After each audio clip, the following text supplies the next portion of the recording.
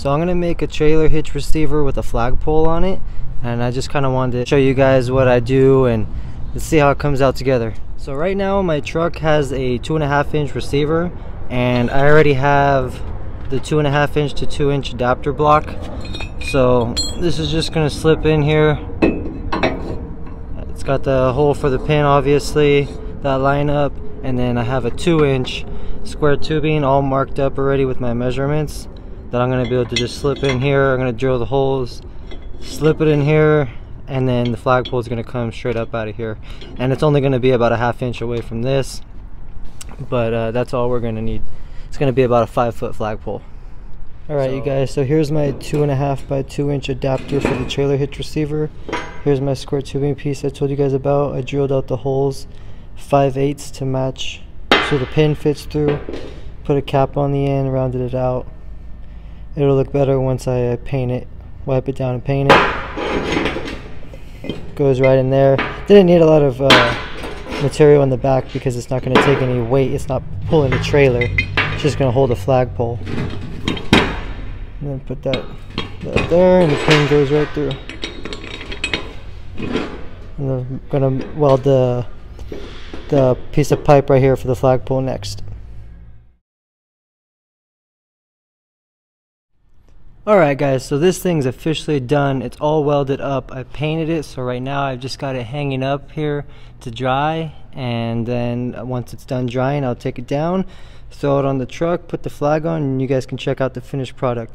But for right now, you're officially watching paint dry. Alright you guys, so the flagpole's all done. I'm going to take you around back at the truck to see it. Um, my truck's super dirty right now because of the rain and I drove through that canyon yesterday. So there's mud all over my truck and I'm not going to wash it because it's supposed to keep raining. But anyways, let's go check out the flagpole. It's all done. Let's see how it came out. Alright you guys, here it is. Pretty much built it in maybe a little more than an hour.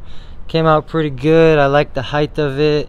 It's not like, it's not above the cab of the truck. It's pretty close to even with the cab and uh, it's pretty close to the bumper like I said uh, obviously I could just take the hitch pin out and remove the whole thing and I could put it in the back seats if I need to drop the tailgate. So it came out pretty good. Now it does block my backup camera a little bit but it's not that bad. I, I can still handle with it.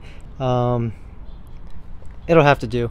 But anyways that's that. Maybe I'll reroute the uh, backup camera a little lower uh, figure something out. No big deal but anyways hope you guys enjoyed that. It wasn't supposed to be like a how-to video but more just like showing you guys what I was doing a little bit you know coming along with the flagpole builds and stuff like that. Alright guys I gotta admit it. I messed up. This isn't gonna work.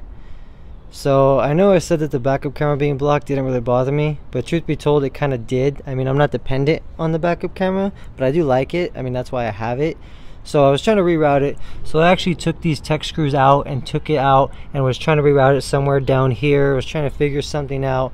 And then it dawned on me. You can't see the license plate from the back. And obviously your license plate has to be visible. It can't be covered. And I don't want to get pulled over and get a ticket for that. So this just isn't going to work. I wish I realized it sooner or thought of it in the beginning but um, I mean I could have made it higher but really it's already like at the top of the cab I don't want it to be super high so instead, here's what I'm gonna do. I'm just gonna cut the flagpole off. I already made this piece with the hole in the cap, so I'm gonna keep it. I'm just gonna cut this off, clean it up, and put another square tubing offset here to about right here, and then put my flagpole there up. So it's just gonna offset over and flagpole up here, and the flag will be more over here and then it won't be blocking my license plate or my backup camera.